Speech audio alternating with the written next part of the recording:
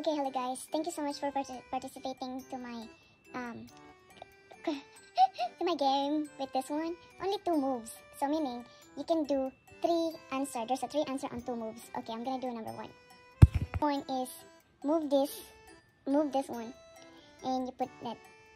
Move this two. See two moves, right? Then you can put that right over here. Okay, right over here. Okay, you can put that right over here.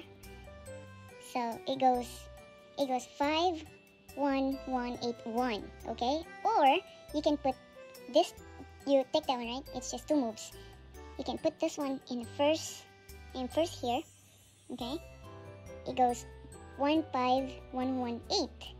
And then if you answer that, you'll be correct. If you answer the first one, 51181, that will be correct too.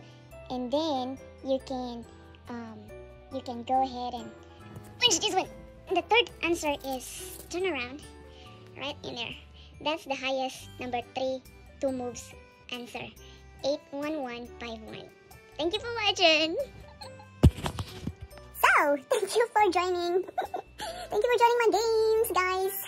Everyone that um got the right answer, congrats. Sana hindi nyo ginugol. hindi nyo ginagogol.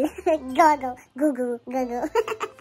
anyway, thank you for the participation, guys. God bless you. And this is the result of quarantine. it's an IQ um, exercise. So.